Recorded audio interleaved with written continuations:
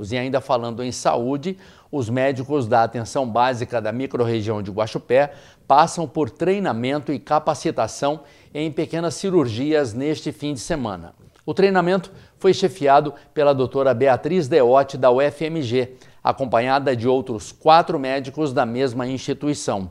Cada município da microrregião de saúde de Guaxupé teve uma vaga garantida para um médico e cinco pacientes para cirurgia.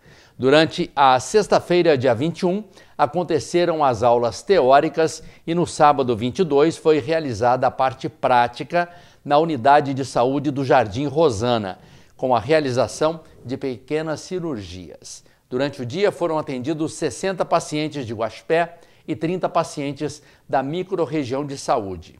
Tanto os pacientes de Guaxupé quanto dos municípios da micro passaram por triagem e encaminhados, logicamente, depois para a cirurgia.